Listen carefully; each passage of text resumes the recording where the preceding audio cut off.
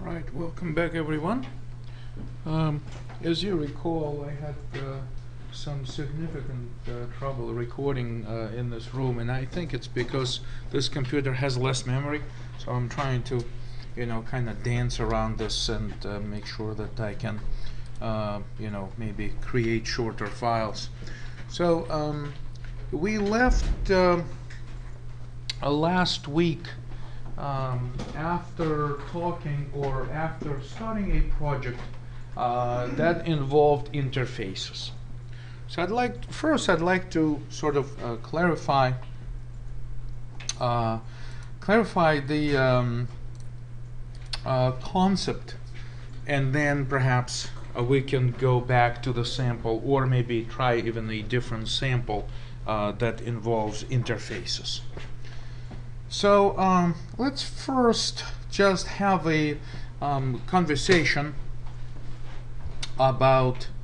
Um, uh, let me open a class diagram uh, using Violet. I already downloaded Violet and, and got it started.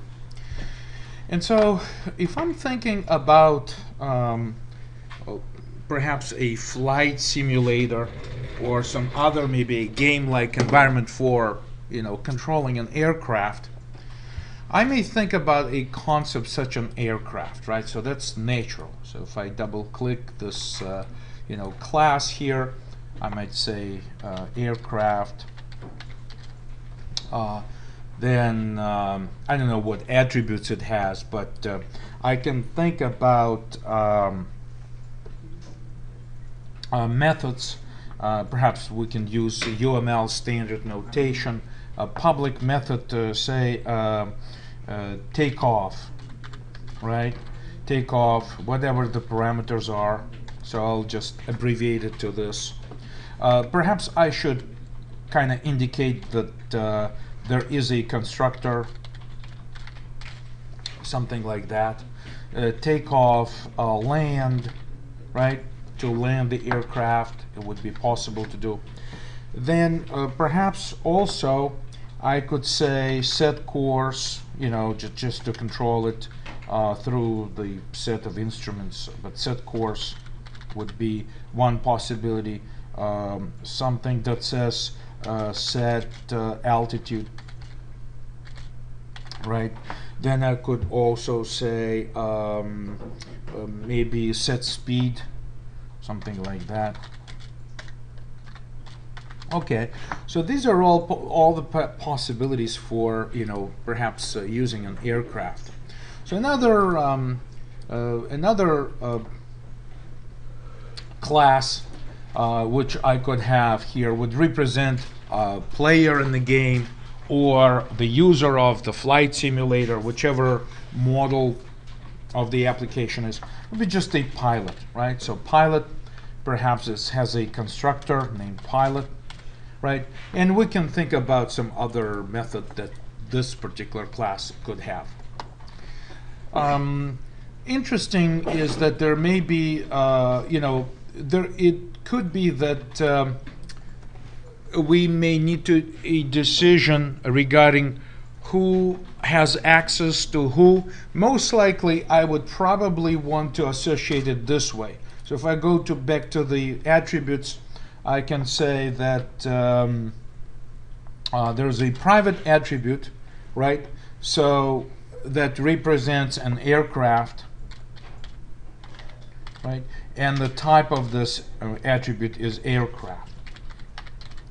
Right, so somehow perhaps the constructor of the pilot takes a particular uh, instance, a reference to an instance of an aircraft, and so the pilot has access to an aircraft. That's, that's fine.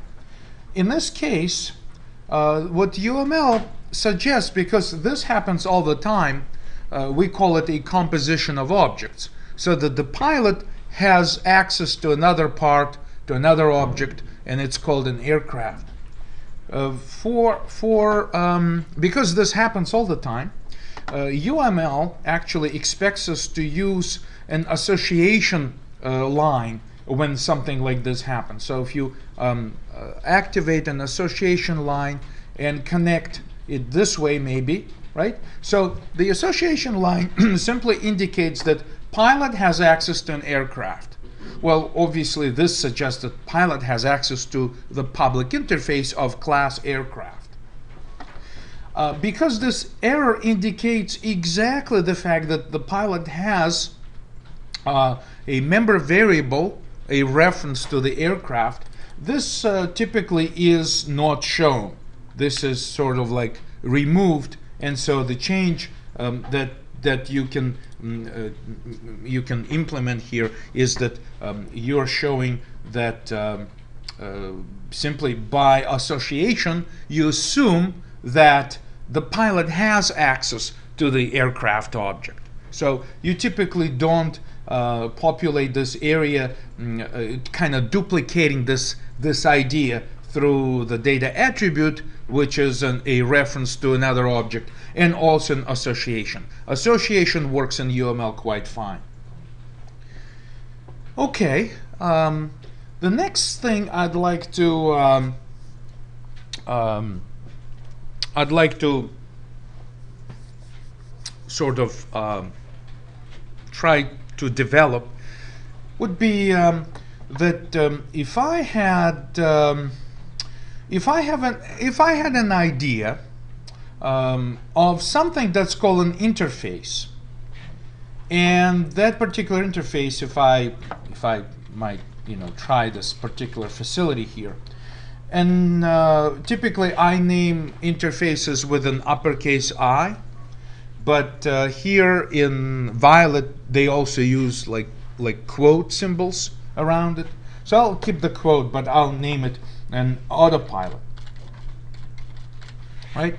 So, so uh, perhaps my aircraft could um, could support an interface uh, typically provided by an autopilot. So what could be there? Perhaps um, you know a number of things. Um, I could possibly use a number of these set um, methods, right? So if I double click here and say methods, um, uh, I could say that um, my auto autopilot interface, just an idea that there could be an interface named autopilot, which includes those methods. So let me, without risking it, right,